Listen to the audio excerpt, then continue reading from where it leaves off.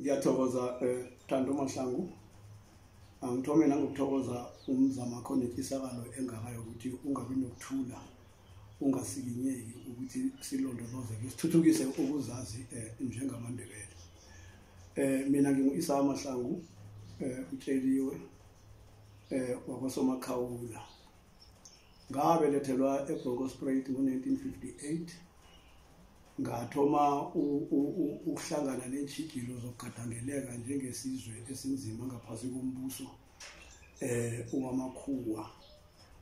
eh kwafika lapha kuza kuba nemizamo engayenzako ukuthi ngize ngikhona ukuyokufika esikolweni kumlando oza kulandela-ke loyo onamaphuzu amaningi aqakathekileko mara-ke ngangena isikolo ngo-1968 ngasuke ebromoro ngayevelton freere ngekhosini emthambuthini ngenhlanhla ekufikeni kwami ngemthambuthini kwathola ukuthi umkhulu wami obelethu ma u-active khulu lokho kwangenza ukuthi ngisondelane nesigodlo sakwanzunza ukusukela ngekhathi sabo-1970 but actively, actively ngabo-1975 nangithoma ukuhlangana nengonyama umayisha um eh, ilanga elacimako okunguye umuntu engifisa ukuthi ngimnikele wonke utyisakalo nomzamo wami ehlonipheni yena ngoba waba nehlandla eliqakatheke ngendlela e-, e-, ehlukileko ukuthi ngizizwe namhlanje nginetyisakalo yokuthi ngingahlali nami ngithule kungabi khona engizimisela ukuthi okuncane engingakhe ngibe nakho ukuthi sibambisane eh isikhumbe sisitshuke ukuthi singalahlekelwa ukuzazi eh manje ikakhulu ke emizameni yami yonke yokubandakanya emphakathini ipolitiki ngingenile kiyo eh eParliament ngibuya khona yakwaNdebele eh kwakhodesa nakhabe kukhulunywa iconstitution le yala ekhaya khangikhona eh ngomunye wabantu abababahleli nabakhambisi besililo esavezwa amandebele ngo-1986 ukuthi umbuso uthethe i-independence isinqumo se-independence ungakakhulumi nabantu bangakatsheli abantu ukuthi yihle noma yimbi lokho kwabangela abantu ukuthi babe nevalo ngoba bathina baqala iintshaba lezi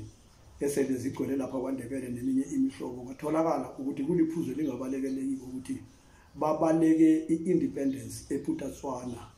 um eh, ngokungayazi nangokungayiqondi manje into yangisikinya yangithwenya um eh, ithuli laka-86 ngalibona ngo-1982 bekwaba namagama engiwatshoko ukuthi solanka kuzokuthathwa into ele kamarihle kangangani abantu bangakatshelwa ngiyathukwa abantu bazoyala bangazi ukuthi kwenzakaleni kwamambala kuthe nakuhambako um mlando wamaphuzu ajulileko ngibethandele ethi mhloko ikinga eyaba khona khulu ngo-1986 kwaba ngilokho ukuthi abantu babengakakhulunyiswa bangakaboniswa ukuthi batsho ukuthi bayifuna noma abayifuni ilokhanje ihlangothi lami elincane lepolitiki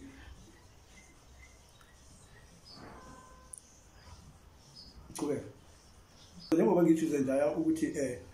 amahlandla la ngeyepolitiki ngeye-economy neyesiko yepolitiki ngithinde kancane nge-economy nayo nginako nginencwadi ngama-trainer ngamanye mara ikakhulu kule esiyifunako-ke nginetyisakalo ekhulu kangangokuthi ngiyathokoza umzamo wakho kukhona vele esingathi nasihlezi phasi ngoba indlela ibuzwa kwabaphambili nathola kithi abangaphambili ababalihlangothi lokwenzeka kwendwezi practically nizokhona ukuthelela umlando onganakuchukululeka njengoba sinekhinga engaka yokuchukululeka komlando wethu ngezinjongo ezihlukahlukeneko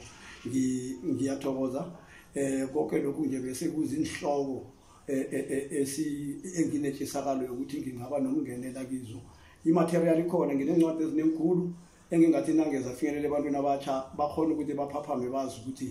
impilo le ingeyabo impilo le ifuna bona impilo le ifuneka kibo